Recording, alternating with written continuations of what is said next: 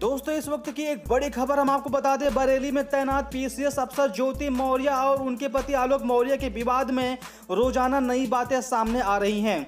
अब ज्योति मौर्य को अपनी जेठानी का साथ मिला है। ज्योति मौर्य की जेठानी सुभ्रा मौर्य ने आलोक के परिवार पर धोखाधड़ी का आरोप लगाया है।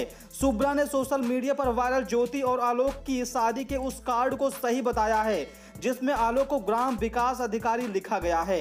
दोस्तों सुब्रा ने अपने पति विनोद परिवार पर गंभीर आरोप लगाए हैं। मीडिया रिपोर्ट्स के अनुसार सुब्रा ने कहा है कि उनके साथ भी ज्योति मौर्य की तरह धोखाधड़ी की गई है। वह भी आलोक और उसके परिवार पर मुकदमा कराएँगी।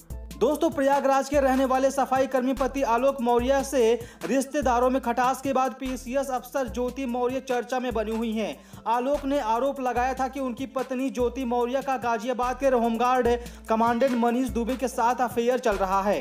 दोस्तों, दोनों उनकी हत्या कराने की साजिश रच रहे हैं। इसके बाद से यह हाई प्रोफ़ाइल मामला लगातार सुर्खियों में बना हुआ है।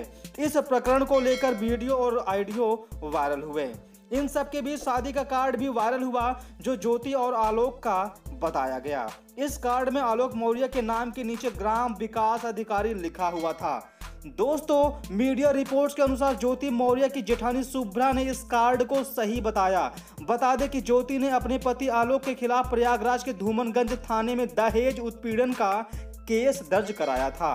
दोस्तों, पूर्व नौकर शाह अमिताभ ठाकुर व उनकी पत्नी नूतन ठाकुर ने भी आलोक मौर्य द्वारा दिए गए डायरी के पन्नों को वसूली लिस्ट बताते हुए लोकायुक्त से शिकायत की है।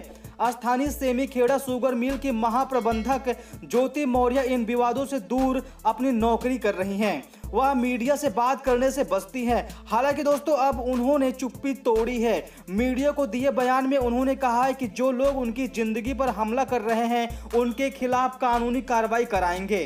तो दोस्तों, इस वक्त की एक बहुत ही बड़ी खबर है, जो कि बहुत ही तेज़ी से वायरल हो रही है। दोस्तों, आगे की खबरों को पल पल की खबरों को सबसे पहले जानने के लिए इस वीडियो के नीचे वाले लाल बटन पर क्लिक करके चैनल को सब्सक्राइब करके साइड में बेल आइकन पर भी क्लिक कर लीजिए।